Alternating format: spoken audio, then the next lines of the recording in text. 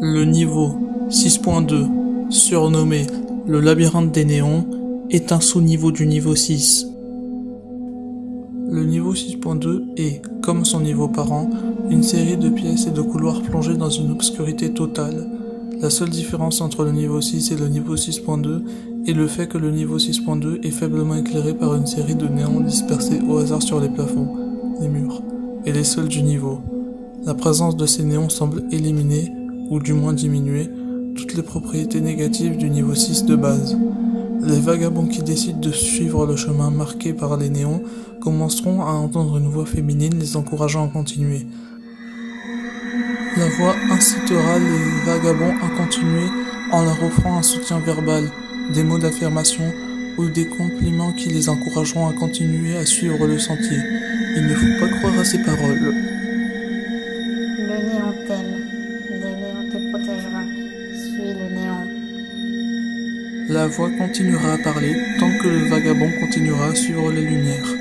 Au début, il y aura un nombre considérable de couloirs qui vous permettront de retourner au niveau 6, mais ceux-ci diminueront à mesure que vous continuerez à traverser le labyrinthe de néon. Il est impératif de Je garde les cauchemars loin. Fais-moi juste confiance. Suis le néon et je te garderai en sécurité. En pénétrant suffisamment profondément dans le labyrinthe, vous provoquerez certains changements dans son fonctionnement. Les néons deviendront plus brillants et clignoteront occasionnellement avec une lumière rouge vif. Cela signifie que vous êtes proche, mais qu'il n'est pas trop tard pour sauver votre âme sœur. Enfin, à quelques pas de la maison. Suis-moi, suis-moi, je te guiderai. Il suffit de traverser la porte. Je.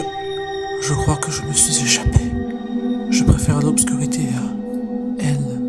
Elle me ment. Je le sais. Mais maintenant.